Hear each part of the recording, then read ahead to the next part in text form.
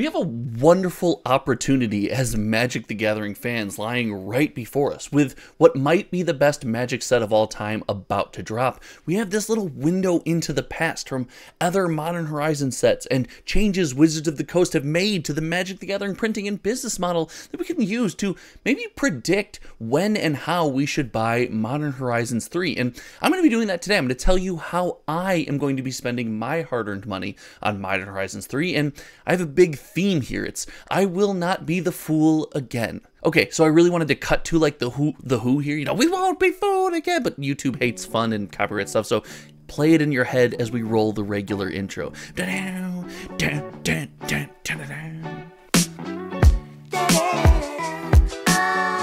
The one good thing about that intro is I am such a bad vocalist, there's no chance I actually get copyright struck at it. But as bad as I am a vocalist, I am pretty good at evaluating how I spend my money on Magic the Gathering products. I've bought almost everything that I've bought at an insane discount, and I've gotten pretty good at analyzing the trends that I follow as we track every single sold listing of sealed product on TCG Player. Now, yes, everyone's gonna have some hits, everyone's gonna have some misses, but I want to chat today about what I think about the timing when it comes to how I spend my money on Modern Horizons 3, and hopefully that gives you guys some insight as to what I'm going to do, and you can follow along if you'd like, or you can always tell me how wrong I am in the comment section, as not only do, you know, all the viewers out there do, but the channel members who support this channel are always in there telling me when they disagree. Big shout out to the channel members. So when it comes to Modern Horizons 3, I want to avoid being the fool, and for Modern Horizons 2, just a little insight into how I engaged with that product, I was well, I was the fool a little bit. I really believed that the Modern Horizons 2 set booster box was going to be so hot and fly off shelves so much that there wasn't going to be a massive availability of the product. And boy, was I wrong. We lived in the world where Wizards of the Coast was printing everything to the moon. There was a ton of boxes readily available. And I predicted at that moment, I was like, maybe there's this small chance. And again, I wasn't like all in sold on this, but there was a small chance that they decided to scale back the print run for this product to bring back some of that hype and some of that you know, excitement when it comes to limited product and prices going to the moon. And that wasn't completely unfounded. We've seen Wizards of the Coast do that recently, looking no for no further than the Fallout Commander collector booster box, right? It's extremely limited in nature. We saw the Ravnica remastered collector booster box, and yes, I know that product did not take off. It was not highly sold. In fact, it was one of the worst selling Magic sets of the year, and maybe even all time. You can check that data out at cardboardfinance.com as far as TCG player numbers are concerned. But their idea of the limited nature of some of their products was always there. I just picked the wrong moment, and since then, I have learned so much about the availability of Magic the Gathering products, and Wizards of the Coast has showed us that they while you know, want to make some products super limited, but other products, they realize and lean into it's a game. The box should be on the shelves. And for that reason, the first product I want to talk about and how I'm going to spend my money on is the Modern Horizons Play Booster Box. And I will admit, I won't be buying this super heavily on release. I might buy a box or two just to crack for fun because that's the price you pay when you want early cards and just to experience the set is you pay a little more. But I do believe, and this is total opinion, none of this is financial advice, and this is how I'm going to do it. I believe this will be much like the Modern Horizon 2 set booster box. I know it's a pretty direct comparison, but I mostly wanted to remind people that this product was readily available for a long time. Wizards of the Coast wanted this thing on shelves. They wanted it to be able to be pushed out to game stores over and over and over and over again to not only support the modern format, but to support people who wanted to get in on a higher powered set. And, well, duh, it's a good selling product. They wanted to have it to sell. And I think this is a really good thing. I don't think this is bad. I believe that popular sets and their play booster boxes should be on shelves. Looking at Lost Caverns of Ixalan as a recent standard Magic the Gathering set, the set booster box is still holding strong at the 125 to 132 mark on the secondary market, and it's readily available. It's out there, you know, a ton, and it's holding that price because it's a good product. You could tell me a story where Modern Horizons 3 follows that trend for a long time. But in my opinion, totally my opinion, and let me know if you disagree, I think they're going to print a ton of this. I think it's going to be available for a long time. And for that reason, while I might buy a box or two and just buy singles on the secondary market, I do think there will be opportunities to buy this box either on sale or at a discount as 2024 goes on. That's my massive prediction. We'll put on our tinfoil hat. We used to do that way more on the channel, put on the tinfoil hat and make predictions, but that's my first prediction for Modern Horizon. Some people are to be like, well, duh, of course, but it's not that well known in the Magic the Gathering community. Look at how many sales happen right on release, and people just aren't patient. They have to get that in their hands. And again, I'm totally down for that, but me personally, I'm going to be waiting. But there's a product that I don't know if I'm going to wait on. It looks like I'm going to load up the limited availability gun and I'm going to shoot that bullet one more time.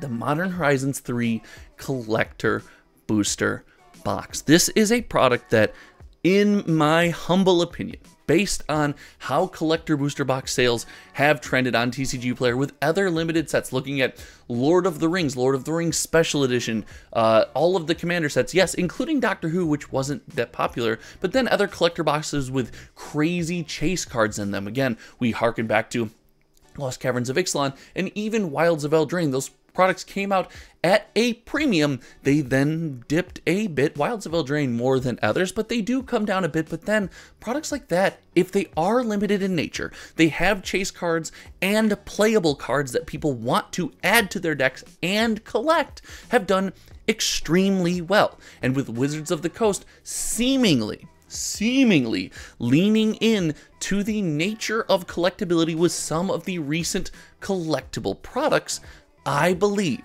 there is a time very shortly post release to buy Modern Horizons 3 collector booster boxes. Unless you have a lead, you know, before that, feel free again, spend your money how you want. That is my strategy. I'm going to let Modern Horizons 3 collector booster boxes release.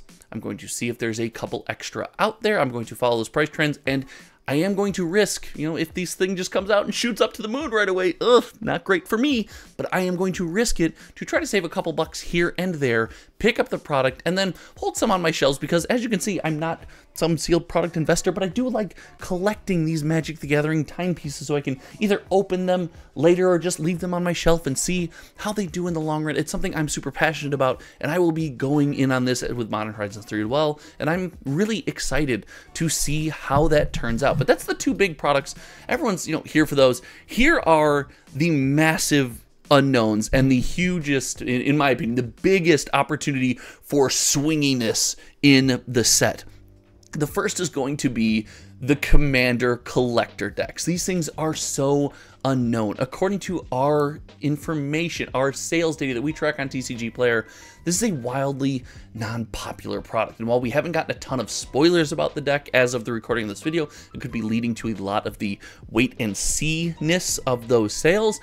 I really do believe, much like the collector cool decks for Universes Beyond Warhammer that I have behind me, I think that these decks are going to age extremely well. I do believe that there's a really cool opportunity if these are limited in nature to add them to any collection, have a sealed set of collector decks with all the shininess and the craziness, and I think it's going to be looked back on fondly. Commander decks have this this unique nature of it's hard to reprint a lot of the unique stuff or the you know the individual stuff in a commander deck and hard to justify that in other commander decks. You can always do, you know, a really popular single here, your Chaos Warp that's been printed in your into the ground. Maybe you're looking at a Fierce Guardianship, you know, that was once this and is now this after a reprint, things like that. But I think the actual core commander deck itself is a really hard thing for Wizards of the Coast to be like, yeah, here, have some more. I think in, you know, three, five years, these things are